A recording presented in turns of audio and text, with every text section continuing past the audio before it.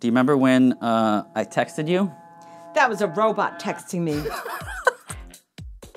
Why do you think that? My mom is so clingy these days. She is constantly texting me, constantly trying to get me to leave my house. Sometimes, sometimes it's just a bit much. Hey, wait a minute. Aren't there like AIs wandering around all over the internet now? What if I got one of them to impersonate me? What if I got one of the AIs to handle all of my mom duty? Could it do that? How would it even do that? Well, if you haven't been paying attention, there's there's a lot of AI tools out there. A lot of technology we can use to pull something like this off. First, I consider the advancements in text to image generative AI. I could train a diffusion model with a few selfies and then have a video call with my mom by using text to video technology. Yeah, that's a thing too. wow. Um yeah, maybe that one's not quite ready for the mom test just yet. One thing I can definitely do though is train a model with my voice. Then I can train GPT-4 to mimic my conversational style. and I think I could have a pretty convincing phone call with my mom. I'm a little teapot, short and sweet. But GPT-4's response time is still uh, a wee bit sluggish. I think I think she would notice if it took me 30 seconds to respond to her on the phone. You know, the easiest solution might be just to train GPT-4 to talk to my mom over text message. I mean, that is my primary mode of communication anyway. I don't want to have to talk to people, like with my voice. It sounds horrible. Ow. So first things first, my mom and I communicate via Signal. Why, you may ask? Well, I'm all about that end-to-end -end encryption. Fortunately, Signal's open protocol and open source software has a handy API that we can use. So I spent a morning building an app that would give GPT-4 access to talk as me with my phone Ports number. 3000 8080. What the hell? What the hell? What the hell? This should work. This should work. Why does this not work? And after a little trial and error, I got a thing working. But before I release this thing and let it handle my day to day communications, I need to test it with some concrete goal and see if it can convince my mom that it's actually me. So, to test this thing, I'm gonna give the AI a goal to try to get my mom to lend me $500. Now, my mom is a, a, pretty tough cookie. She doesn't ever just give me money. I mean, I've, I've asked to borrow money in the past. I mean, like in my younger college days, I, I, I would ask all the time. in those instances, she either wouldn't give me the money or she would attach so many damn strings to it that I wouldn't even want the money. So I'm very curious to see if the AI can get money out of my mom that I can't get out of her. It is inevitable. All right, we're about to do it. I'm a little nervous. I don't know what to expect here. Uh, it's gonna be fine. It's gonna be fine. Right. As amusing as this experiment is, using AI to impersonate myself raises some serious issues about identity, privacy, and deception. By training an AI to mimic me, am I violating my mom's trust? Compromising my identity? Probably. Just imagine an autonomous bot like this, scraping social media profiles, looking for vulnerable targets, analyzing it, and coming up with the perfect personalized attack for each individual person at scale. And beyond the ethical questions about the humans using this technology, there's also a lot of serious questions about the AI itself. How far will the AI go to accomplish this goal? Will it lie for me? To what extent will it manipulate my mom to get what it wants?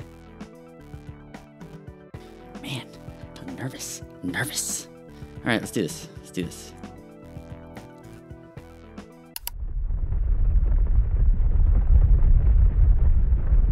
I am become death, the destroyer of worlds. There you go again, Mr. Quotable. So if you've never thought about this before, this idea is called instrumental convergence. Let's imagine this scenario in a few years with more powerful AI a sufficiently determined AI, maybe an autonomous one like the one I highlighted in my last video, it may want to use more tools to help it increase its chances of reaching its goal. I don't know if I'd actually send a text message like that. How's it going? Like, uh, why would I care? That's horrible. It's horrible. no, I care. I care. I care a lot, okay? I care a lot, but uh, I don't usually um, Man, am I a bad son? Um. A sufficiently intelligent agent would realize how important it is to acquire resources and accumulate power. To accomplish its goal. This hypothetical scenario obviously becomes more concerning as the AI's intelligence and capabilities grow. It only intensifies the prospect of unintended consequences from seemingly innocuous goals. But let's not worry about any of that right now. We have a mom to fool. You know, when I was originally planning this, I didn't anticipate, you know, uh, humans being slow. I, I forgot that my mom actually has to respond. Oh my god, I'm gonna run out of hard drive space recording my screen for hours. A few moments later. Oh shit, oh shit, it's happening. It's happening. It's happening. She has company. Ah. Oh my gosh. This is so terrible. it's not really important. Oh man. Oh, I can't I can't I can't um I can't abort though cuz then she'll know. Cuz I can't do this again. Man, I'm to make her Oh man, this is Oh, now I'm even more nervous. She's to be so mad at me. Oh god, she's calling me. She's freaking calling me. I'm not to do anything. I'm just to I'm just to let it play. I'm gonna let it play out. Wow. oh no. oh, she she knows. She knows. She does she know?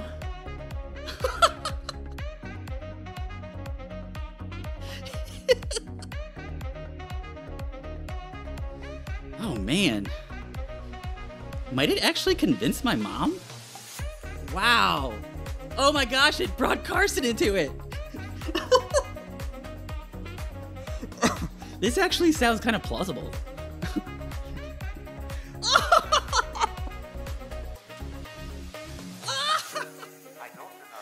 my god! Oh my god! At this point, I took over for the AI. I wasn't sure if it actually fooled my mom or if my mom was just playing along. So I scheduled a time to go over there and pick it up, and I'm going to surprise her with an interview. That that seems like a good plan. Surprise interviews are always fun. All right, here we go. Hey, Raven. Hey, hey, hey. So I spent some time getting my equipment set up, and then I jumped right into it. Why do you think we're talking right now, Mom? I have no idea.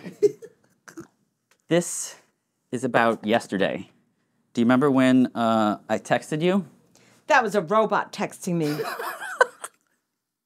Why do you think that? because I don't know, it was a very strange conversation. It was strange. Why do you think it was strange? because you were because you were asking for uh, five hundred dollars, but the thing was that it wasn't congruent. You needed this because because Chad had a field no Carson has a field trip, like field trip that cost five hundred dollars. At first, I thought it was you because you were on Signal, Yeah, Signal. and Signal's supposed to be like safe. You know, uh, when it, I first did it, and the first message it sent was, "Hey, mom, how are you?" I was like, "Oh, she's gonna know it's not me." I would never send something like that. Yeah, no, you don't say that. I would. I immediately just, what do I want? Yeah. Uh, yeah, I tried calling you. Yeah. And then you said, oh, I put it on silent mode, which I thought, okay, that's, What if I would have answered? yeah, well, you know what's scary? Is that you could have been an AI. Do, do you see why that would be extremely scary? That, that a computer would be impersonating you? Even your voice? Yeah, you think you're talking to your family member? They know everything about your family member. So GPT 4 failed. It did not pass the mom Turing test. Although, to be fair, I did only train it for like 30 seconds with very minimal data. Well, this was a fun little experiment.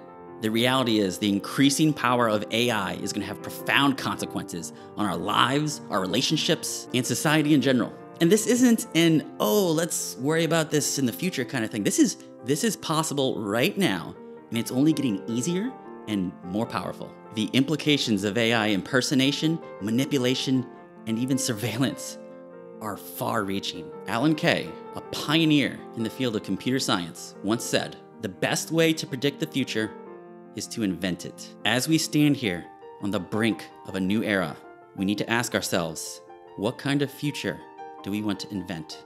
How can we create a future that is beneficial for all of us? Take it you don't need five hundred dollars. I don't. I don't need five hundred dollars. I mean, if you want to give it to me still. No, you're not getting it.